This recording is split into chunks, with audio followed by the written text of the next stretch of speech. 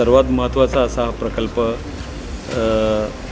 दोन हजार अठराला एकवीस मे या प्रोजेक्टचं या ठिकाणी ऐरोली काटे हा महत्त्वाकांक्षी असा या नवी मुंबई शहरासाठी असेल कल्याण असेल अंबरनाथ डोंबोली इथल्या लोकांना जर नवी मुंबईमध्ये यायचं असेल तर तो दहा मिनटामध्ये हा प्रकल्प झाल्यामुळे इथल्या प्रवाशांना ही सोय उपलब्ध होणार आहे.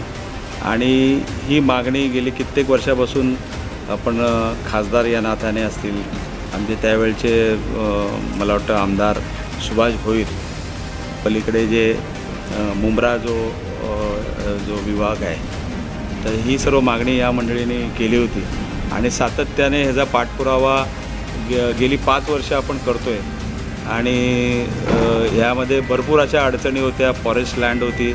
त्यानंतर एम एस सी बीच्या ओव्हरहेड्स या ठिकाणी हेवी त्या शिफ्ट करायच्या होत्या. अशा भरपूर अडचणी या ठिकाणी निर्माण झाल्या होत्या. आणि त्या अडचणीवर मात करत मला वाटतं जवळजवळ ऐंशी टक्के काम या ठिकाणी याचं पूर्ण झालेलं आहे.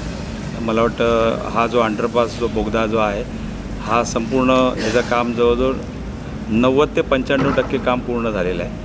आणि जो एलिव्हेटेड जो आहे म्हणजे जो ऐरोलीवरनं बेलापूरकडे येणारा जो एलिव्हेटेड आपण हा ब्रिज याला कनेक्ट करतो आहे त्या ती त्या ठिकाणी दोन स्मशानभूमीच्या त्या ठिकाणी ओव्हरड्स लाईन हेवी जात आहेत.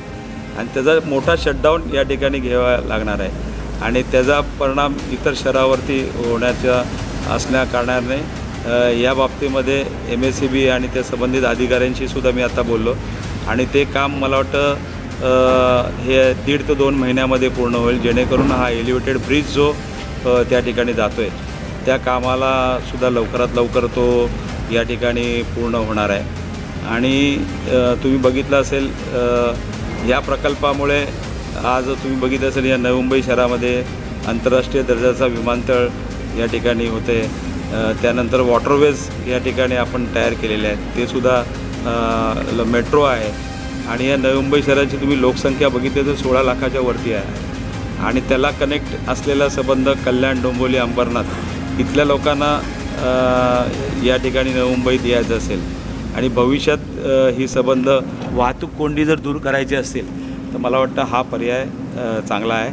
आणि मे महिन्यापर्यंत हे काम पूर्ण होईल असं संबंध या आढावा मिटिंगमध्ये संबंधित एम एम आर डीचे अधिकारी असतील एम एस सी बीचे अधिकारी असतील या लोकांनी सांगितलेलं आहे.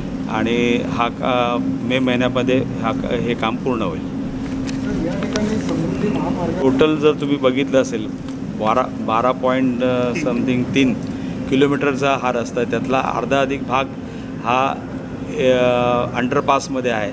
आणि त्यांना कनेक्ट करणारा एलिव्हेटेड आहे. त्यामुळे इथे जास्त असं हे ना राहणार नाही परंतु त्यांना आम्ही हे केलेले आहे की या संदर्भामध्ये जे काय समृद्धी महामार्ग असेल किंवा इतर ह्याला याला काहीतरी तुम्ही स्पीड लिमिट आणि या सर्व गोष्टी या ठिकाणी ॲक्सिडेंट कसे नाही होतील या दृष्टिकोनातून लक्ष घालायला त्यांना आम्ही सांगितलेलं आहे.